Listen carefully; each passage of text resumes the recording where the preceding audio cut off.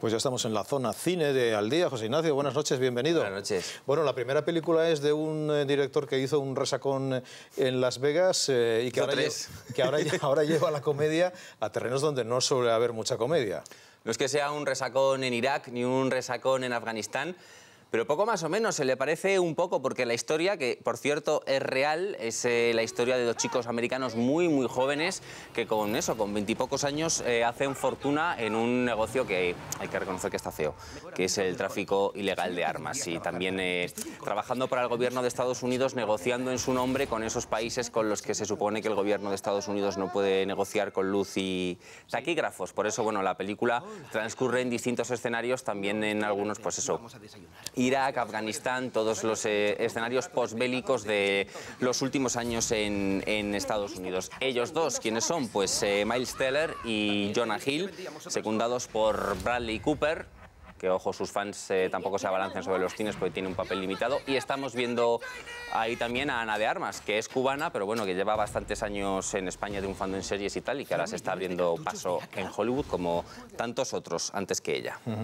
Son muchos, José Ignacio, los actores de Hollywood que terminan dando el salto y terminan dirigiendo películas. En España también ocurre, no tanto, pero también. El último ha sido Raúl Arevalo. Raúl Arevalo, y es que, bueno, a poco espabilado que seas, si eres actor y trabajas con todos los buenos directores con los que ha trabajado Raúl eh, Arevalo a lo largo de su carrera, pues eso es, yo creo que infinitamente mejor que cualquier escuela de cine. No, ninguna escuela de cine te permite ver cómo trabajan pues eh, Iciar Boyaín o Alex de la Iglesia o Gracia Querejeta o todos los directores a los que ha tenido la suerte de ver trabajar Raúl Arevalo. Ahora lo debuta como director con esta película Tarde para la ira, que se ha presentado en una sección paralela del Festival de Venecia, que ha gustado mucho y que es, en palabras del propio director, un thriller sobre la venganza realista, sucio, y él dice que quería que captara perfectamente la violencia cruda, seca y áspera, o sea, que, que, esté- que sepa el público a lo que se va a enfrentar.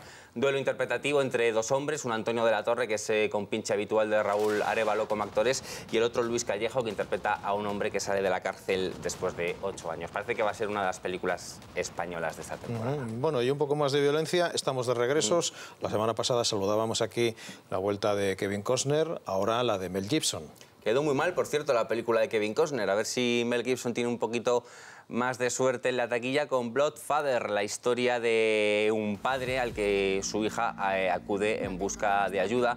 Porque como padre no ha sido gran cosa este personaje, pero sí que en los bajos fondos se sabe desenvolver bien. ¿Y por qué los bajos fondos? Bueno, pues porque ella ha caído en la trampa de un exnovio y de resultas de lo cual está perseguida por peligrosos mafiosos. Así que nada mejor que llamar a papá, que es un artista de los eh, tatuajes, para que la proteja y la defienda, pues eso sí, en un absoluto festival de violencia. Deciros que la novela en la que se basa le echó el ojo hace ocho años Sylvester Stallone para protagonizarla, o sea que os podéis hacer una idea de por dónde van los tiros.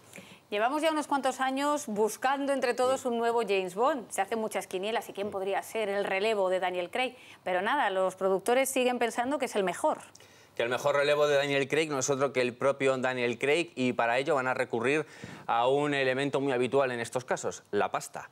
Eh, ponerle mucho dinero encima de la mesa, en concreto 150 millones de dólares, que al cambio son 133 millones de euros, porque haga dos películas más. Él eh, no ha sido ambiguo al respecto, porque el año pasado dijo que prefería acuchillarse las muñecas antes que volver a ser James Bond. Pero el problema es que hay un precedente bastante ilustre, en concreto el primer James Bond, Sean Connery, no volvió una, sino dos veces.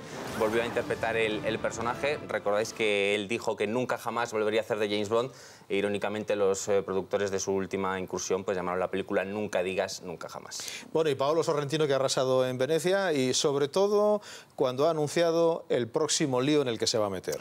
Sí, porque él había ido a Venecia a presentar la serie El joven papa, pero el auténtico revuelo se ha desatado cuando ha dicho que su próximo proyecto, que lo que tiene en mente es hacer un biopic pues, de un personaje italiano que ha sido ciertamente polémico en los últimos años, en concreto el varias veces primer ministro Silvio Berlusconi.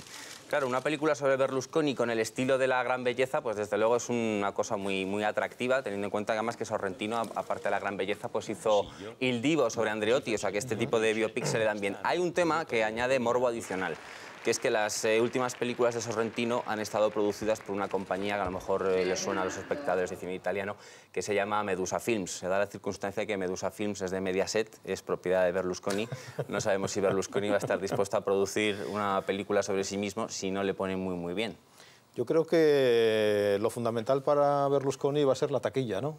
Si Sí. ve que hay taquilla... Sí, si él además eh, tiene medios de comunicación que son contrarios a él y tal. O sea, yo creo que mientras haga dinero, Silvio va, va Exacto. a dar el visto bueno. Muy bien, gracias José Ignacio. A vosotros. Gracias. Bien, también pueden dedicar el fin de semana a leer